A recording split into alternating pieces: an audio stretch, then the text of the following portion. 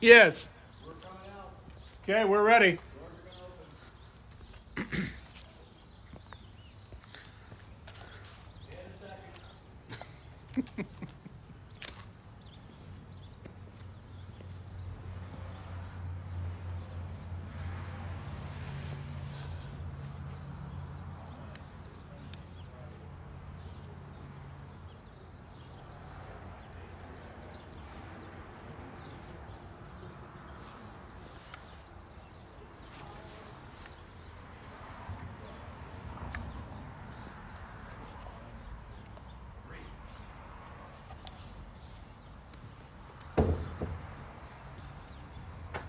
Happy Easter. Hallelujah. Christ has risen.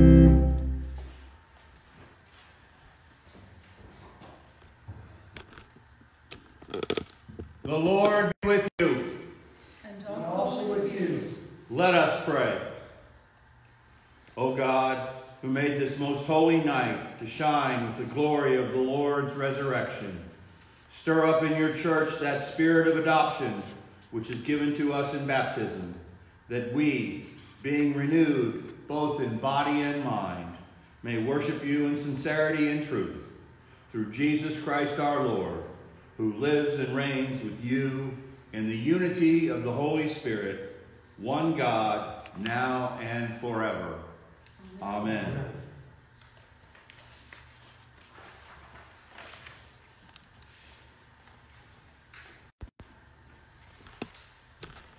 Let us read in unison a portion of Psalm 114.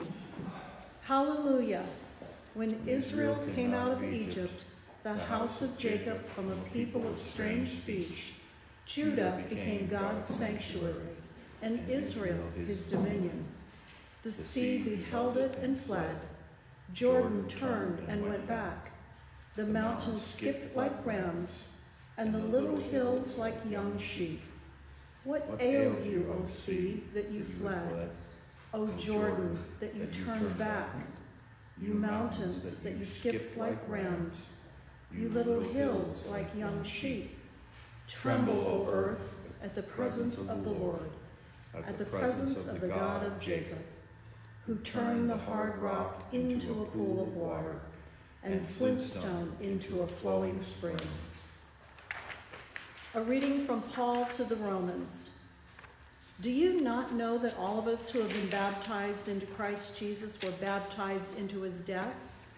Therefore, we have been buried with him by baptism into death, so that just as Christ was raised from the dead by the glory of the Father, so we too might walk in newness of life. For if we have been united with him in a death like his, we will certainly be united with him in a resurrection like his. We know that our old self was crucified with him, so that the body of sin might be destroyed, and we might no longer be enslaved to sin. For whoever has died is freed from sin. But if we have died with Christ, we believe that we will also live with him. We know that Christ, being raised from the dead, will never die again. Death no longer has dominion over him. The death he died, he died to sin once for all. But the life he lives, he lives to God. So you also must consider yourselves dead to sin and alive to God in Christ Jesus. The word of the Lord. Thanks be to God. Thanks be to God.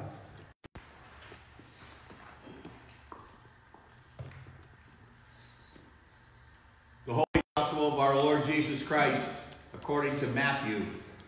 Glory to you, Lord Christ. After the Sabbath, as the first day of the week was dawning, Mary Magdalene and the other Mary went to see the tomb. And suddenly there was a great earthquake, for an angel of the Lord, descending from heaven, came and rolled back the stone and sat on it. His appearance was like lightning, and his clothing white as snow. For fear of him, the guards shook and became like dead men. But the angel said to the women, Do not be afraid. I know that you are looking for Jesus who was crucified. He is not here, for he has been raised, as he said. Come, see the place where he lay. Then go quickly and tell his disciples. He has been raised from the dead, and indeed he is going ahead of you to Galilee. There you will see him. This is my message for you. So they left the tomb quickly with fear and great joy and ran to tell his disciples. Suddenly Jesus met them and said, Greetings. And they came to him, took hold of his feet, and worshipped him. Then Jesus said to them, Do not be afraid. Go and tell my brothers to go to Galilee. There they will see me. The Gospel of our Lord. Praise Praise to you, you, Lord Lord Christ.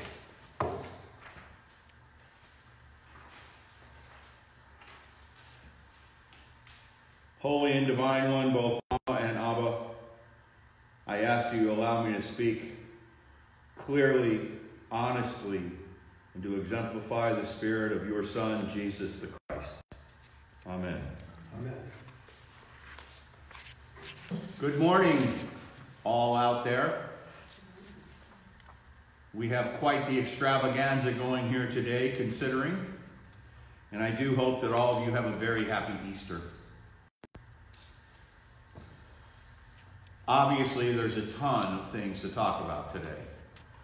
Today is the fulfillment of life after death. We've all been doing this long enough that I don't think it's too much of a shock that Jesus rose from the dead. Although, let's go back for a minute to the night before. Jesus is crucified on Friday. Saturday goes through the day. Must have been a really long day. All the hope and expectation that they had for him was now dashed. They were all hiding in a room.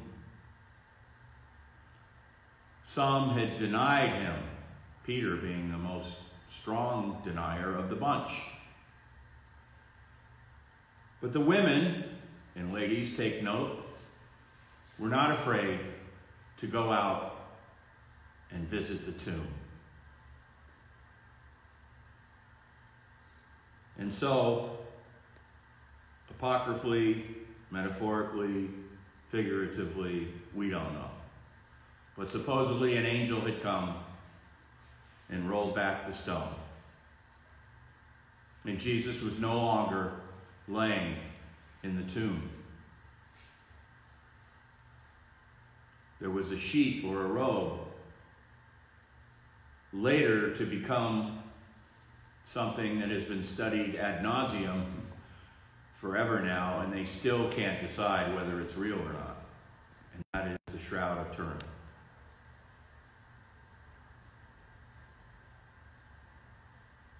During the time we're in right now, which remember in biblical days, pestilence, disease, even plagues were not uncommon. Not that many hundred years later, we have the Black Plague, which most people agree that would be if you had lived on a cul-de-sac of five people, it would have wiped out three to four of them every day. So this world is not a stranger to epidemic, pandemic. And we are sad, obviously, when people die. We're sad when they get sick. Some of, some of them we may know, some of them may be friends. Look at all the people that are out there working because they have to to try to save lives, including clergy. And yet, this is not about death. This is about life. Life ever after. Hopefully, as a practicing Christian, you have bought into this wholeheartedly. But I know some have doubts. And that is why, as humans, we still fear death, many of us. However, we have been given a solemn promise by God that our lives will go on. In what form, none of us know. But we will go on, just as Jesus has. Let's take a little bit different tack now, though. If there's a few really great pieces of silver in this very dark cloud that is hanging over us right now, one of them I would say is that we all are truly learning how to live one day at a time, which is all any of us had to begin with. Not making many plans for the future. Can I get through today? I need to go to the store. I need to wear my mask. I may want to wear gloves. I don't want to be out too long. I want to be very careful what kind of human contact I have. Now, for the introverts in the group, self included, being at home like this isn't too bad. I'm doing more reading right now than I've done in a long time, and I love to read. And I love to watch movies. But I think the bigger part of this quote unquote dying to then be resurrected from death is a metaphor that we seriously need to contemplate and to apply to our lives. If we truly believe in Jesus, it is a healthy thing for us to die a little bit every day. Now, physiologically, we are. There's no way around that. The minute we're born, we're headed for death. But I'm talking about a death of the spirit. I'm talking about are we working to connect and to have relationship to the best of our ability, a two way relationship with God, with Christ, with the Holy Spirit. John says, in order for me to decrease, or actually, I'm sorry, I apologize. In order for God to increase in me, I must decrease. Sorry, I'll take a mulligan on that one. Thomas Merton said, I want to disappear into God.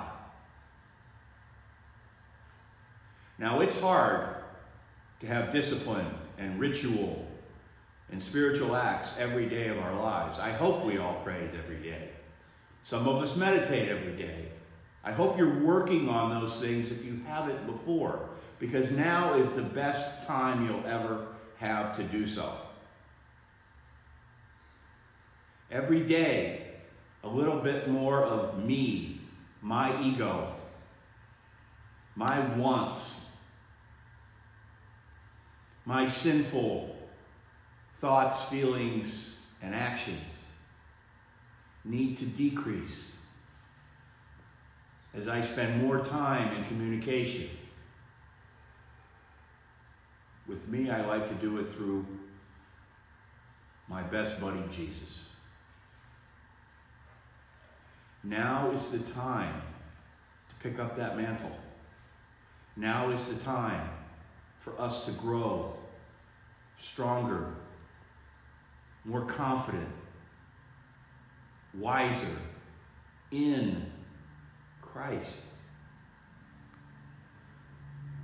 I like to think of it as a daily resurrection because left to my own devices, I am one hot mess. But through Christ, I know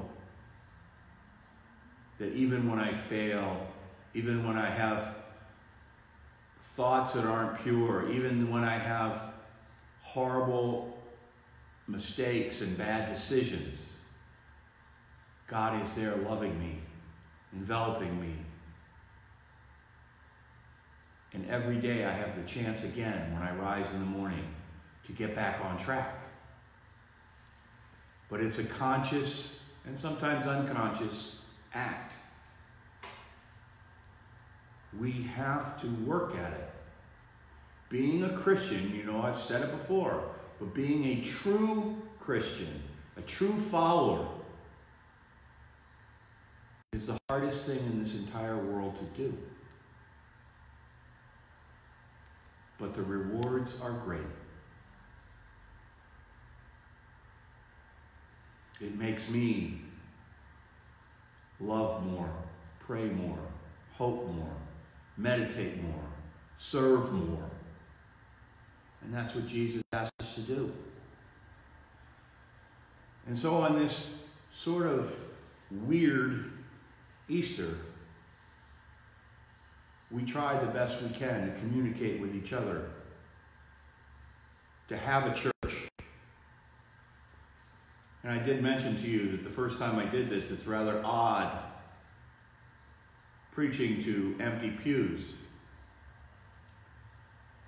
The old memory hasn't quite gone yet.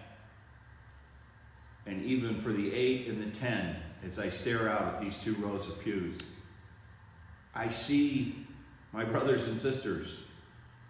We are creatures of habit, and we do usually sit in the same places. And so I can see your faces. And I want you to know that you are so beloved by God, by the people willing to serve today, by me, and that I hope you have one of the better Easters you've ever had under these circumstances. Amen.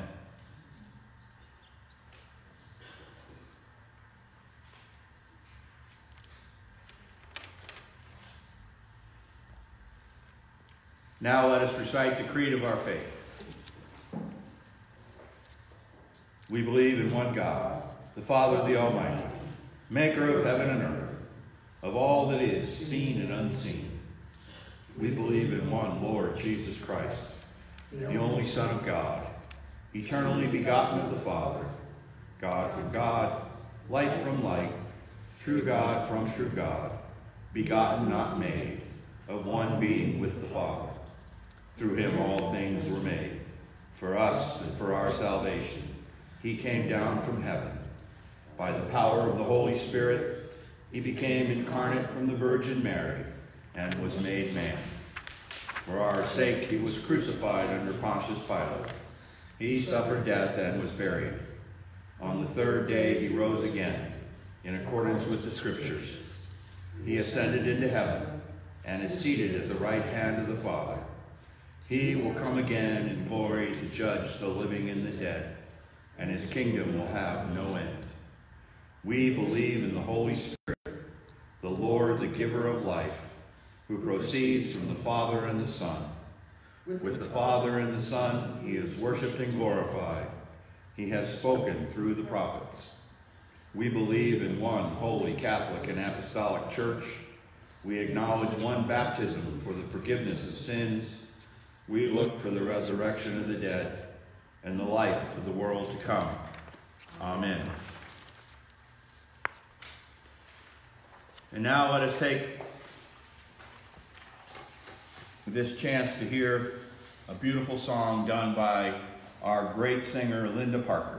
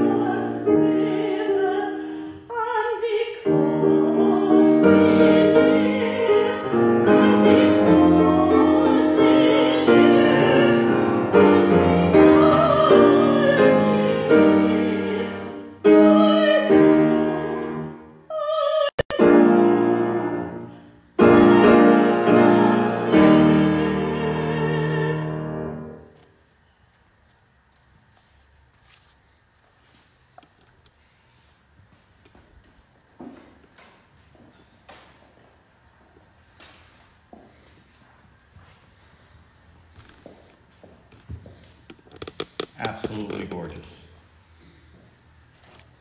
And now let us take a little quiet time, take a couple deep breaths, close our eyes, offer up our own personal prayers before we get to the prayers of the people.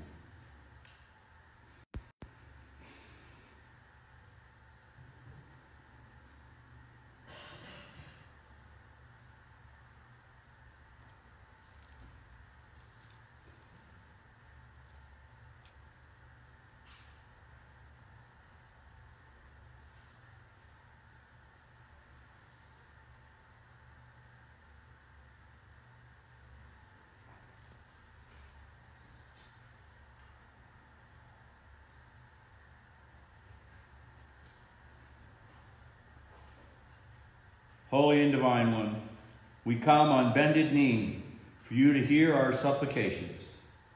We will respond to each prayer by saying, Hear our plea.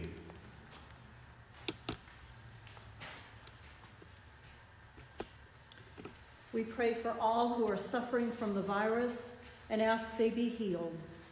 We also pray especially for the elderly and infirm to keep the virus away. Hear our plea. For all of those who are out of work, help them to have food, water, and shelter. We ask for people to think of others first and not only stop hoarding, but to share with others, especially those in real need. Hear our plea. We pray for all doctors, nurses, medical staff, first responders, truckers, and all who work in establishments from where we obtain food and supplies, who are on the front lines of this. Keep them well. Hear our plea. We pray for government to put aside their petty differences and work in unison for the betterment of all people, especially the needy. Hear our plea. We pray that we do not give in to fear, but intensify our faith in the one who loves us all. Hear our plea.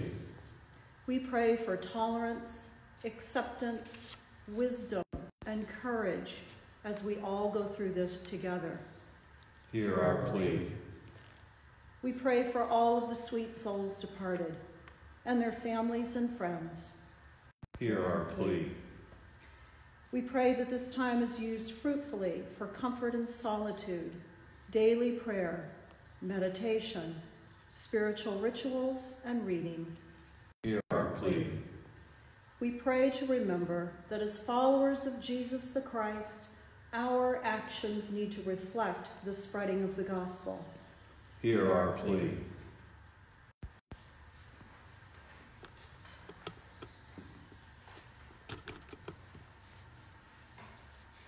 We offer up these prayers in humility and in reverence for the Creator of all. We thank you for all the gifts and grace we receive and ask that we do not take our blessings for granted. Amen. Amen. And now, let us confess our sins against God and our neighbor. Most merciful God, we confess that we have sinned against you in thought, word, and deed, by what we have done and by what we have left undone. We have not loved you with our whole heart. We have not loved our neighbors as ourselves. We are truly sorry and we humbly repent. For the sake of your Son, Jesus Christ, have mercy on us and forgive us, that we may delight in your will and walk in your ways to the glory of your name. Amen.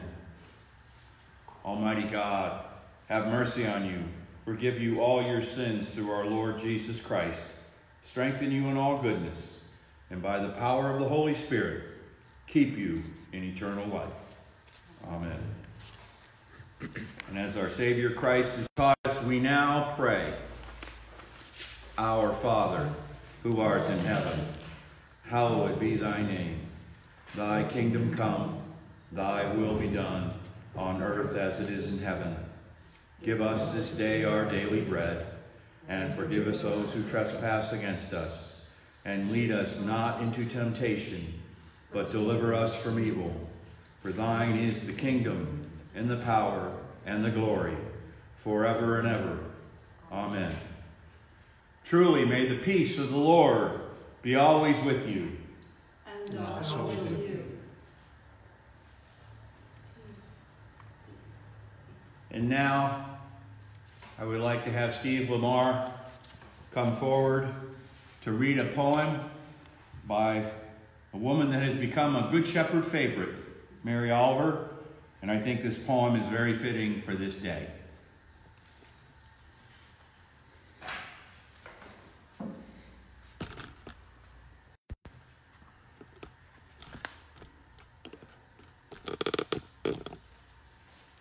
I'm going to read today for you morning poem by Mary Oliver on this blessed Easter morning. Every morning the world is created. Under the orange sticks of the sun, the heaped ashes of the night turn into leaves again and fasten themselves to the high branches.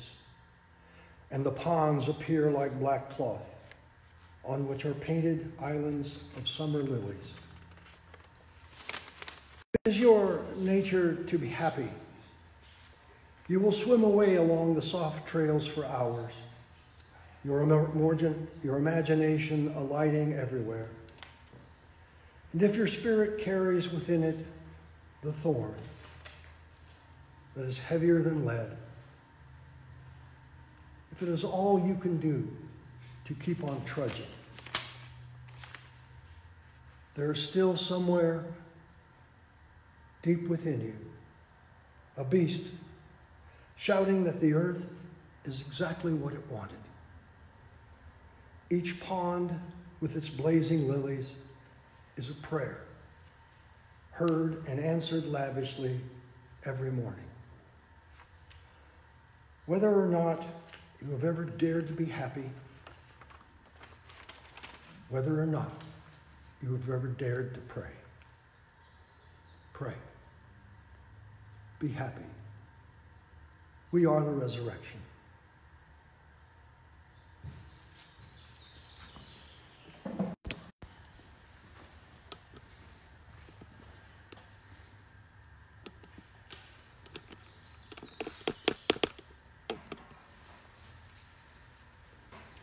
May the Sun of Righteousness shine upon you and scatter the darkness from before your path.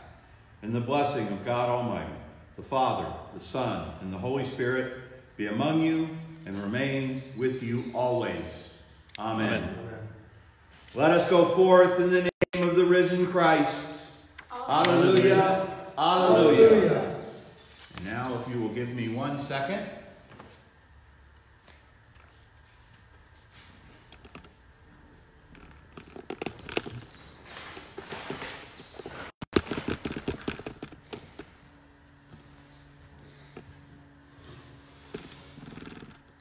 Since it's Easter, we know, especially the children are out there, probably not having the usual Easter egg hunt. I know we tried to create one virtually.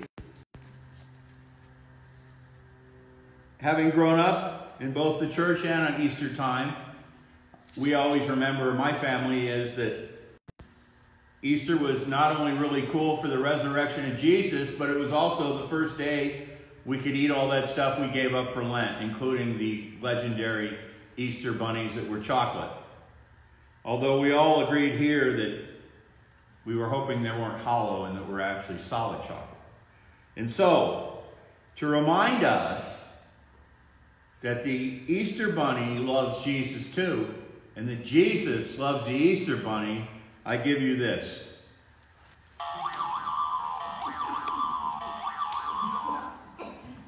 Amen.